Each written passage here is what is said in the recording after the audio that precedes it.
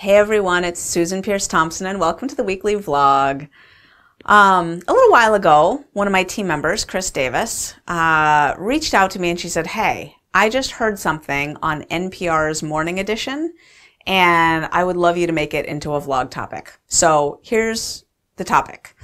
She was hearing a guy named Tom Colicchio being interviewed on NPR's morning edition and he said something and the direct quote is, calories are cheap, but nutrition is expensive. Calories are cheap, but nutrition is expensive. And she thought to herself, Susan Peirce Thompson would refute that. And she said, Would you? Like, what do you think about that? Calories are cheap, but nutrition is expensive. And uh, thank you, Chris Davis, for the topic. And I just want to say, I totally refute that. So, in almost always, I totally refute that statement. Um, but there's one way in which, uh, a couple ways in which I agree with it. So let me break it down for you. So first of all, um, lately I've been talking about this study that was done by George Washington University, um, where they looked at the costs of obesity to an individual. I'm not talking about the societal costs, which we'll get to in a second, but to an individual. And this is why I have this sheet in my hand because I had to write down the figures. Um, these are professors from George Washington University's Health Economics program, and they found that the direct costs and indirect costs and costs due to lost productivity for someone who is obese, for a male, each year they're going to spend an extra $2,646, and an obese woman will spend an extra $4,879, almost $5,000 for a woman to be obese on an annual basis. The cost to be overweight were in the hundreds of dollars per year, um, but the cost to be obese are severe. Um, now, if you add the value of lost life, which you can read in their report, this is easy to Google online, by the way, the George Washington University um, report on this. Um, if you add the value of lost life, now the annualized costs of being obese go up to $6,500 for a man and $8,400 for a woman. So just like outrageous costs. Now, um, those costs just, I mean, those numbers just speak for themselves, right? That's not cheap. That is not cheap. That's a lot of money that you're spending just to carry around that excess weight. That's extra money in terms of lost productivity at work, increased insurance costs of all kinds, increased gas that you're putting in your car, um, just all kinds of costs. Now, that report did not include the excess money that you spend on food. Now, hear me, you spend extra money on food if you're overweight or obese because food costs money and you're eating more food than your body needs, right? And the food that is eaten in direct response to a craving is the most expensive food ever. It's food that you completely don't need. Like that chocolate bar that you drive specifically to a convenience store to buy. Like that's money you don't need to spend at all. Like your body doesn't need it. It's not like you're making dinner out of that chocolate bar, right? That's just excess food, just like a complete waste of money. And if you actually look at like the hankering to go out to eat to, you know, for entertainment and comfort and whatever, those restaurant meals where if you do bright line eating, you stop eating out in restaurants quite as much and quite as impulsively.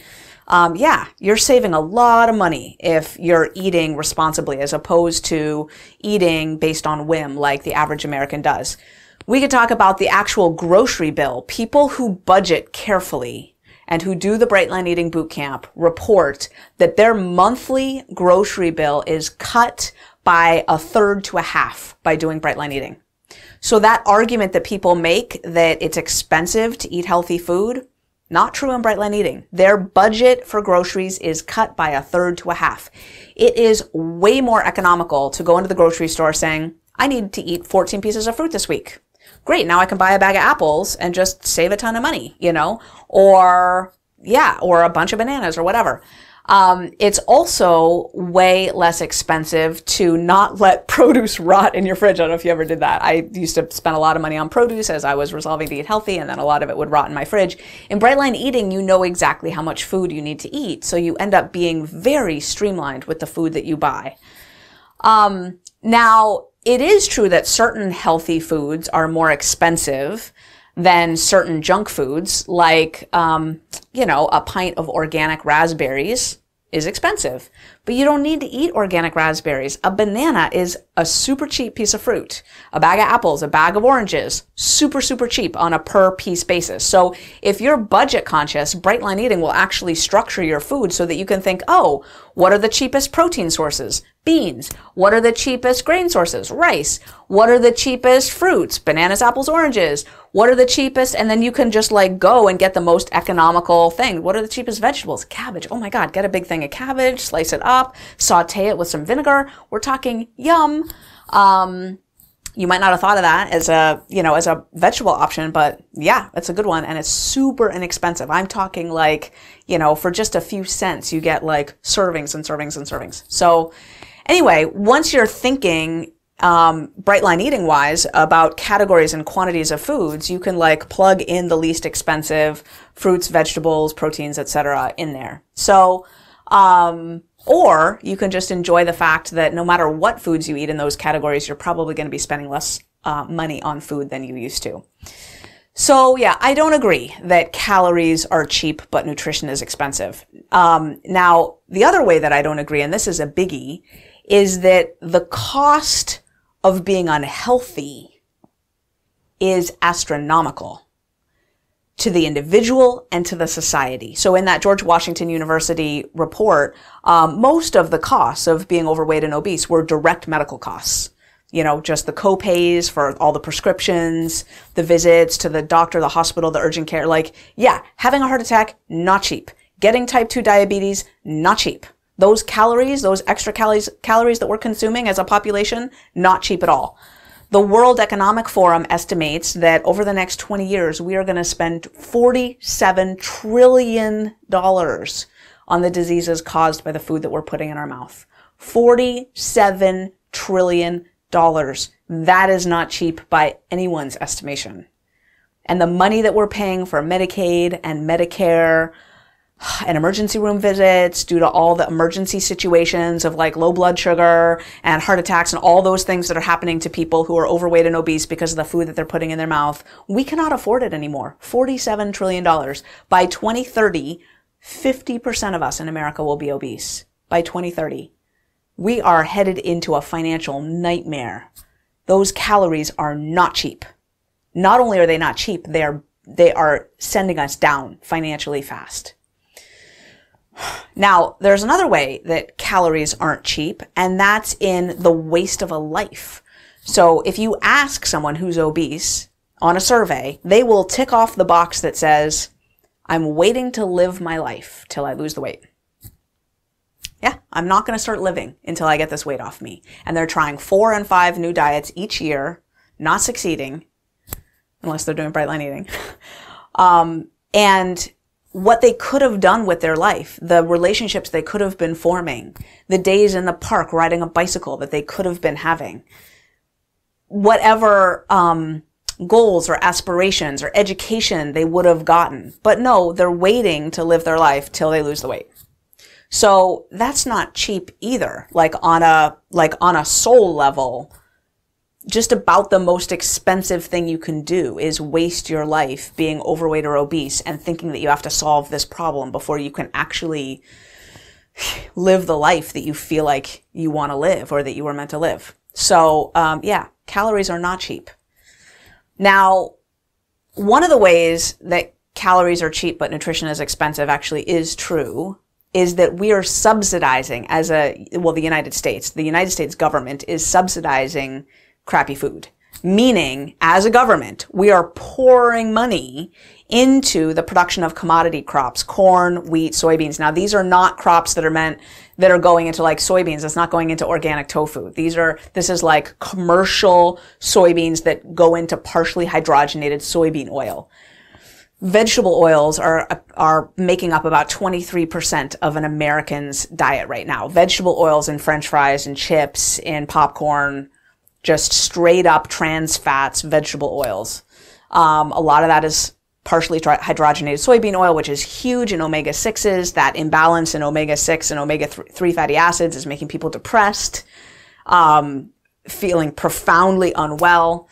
So in that sense, calories are cheap is true. Like the crappy calories are cheaper than they should be because we are subsidizing them. Like we are paying farmers to make this crappy food and they actually wouldn't be able to make it. Like it would not be a financially viable business for them if they weren't getting so much money from the government to make the crappy food.